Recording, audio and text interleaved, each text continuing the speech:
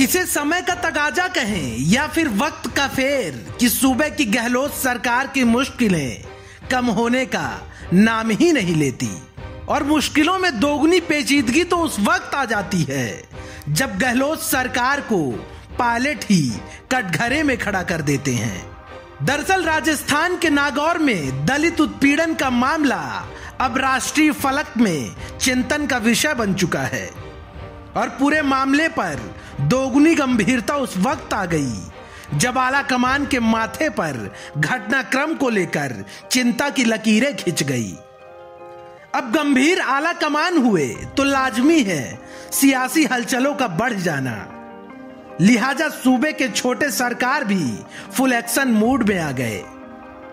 और नागौर घटना को लेकर अपनी ही सरकार को कटघरे में खड़ा करते हुए गृह मंत्री को जवाबदेही तय करने की हिदायत दे डाली।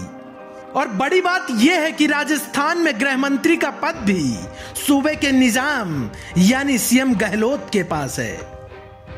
साथ ही पायलट पूरे घटनाक्रम पर इतना सक्रिय हुए कि फ़ौरन पूरे मामले पर तीन सदस्यीय कमेटी बनाकर नागौर भेज रहे हैं।